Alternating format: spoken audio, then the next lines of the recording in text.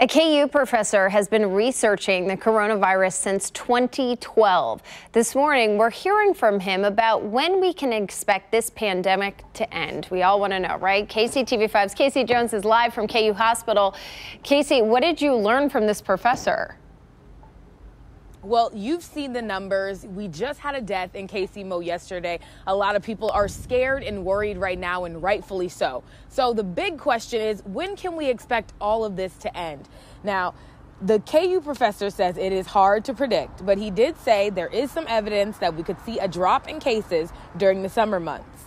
Tend to be susceptible to UV light and that the virus will kind of wind down, along with the fact that we're doing all these social distancing measures and you know, stay at home orders. I think that um, a lot of these things will combine to maybe, you know, have, you know, where the virus will be, you know, transmit a lot less frequently. We'll have a lot less cases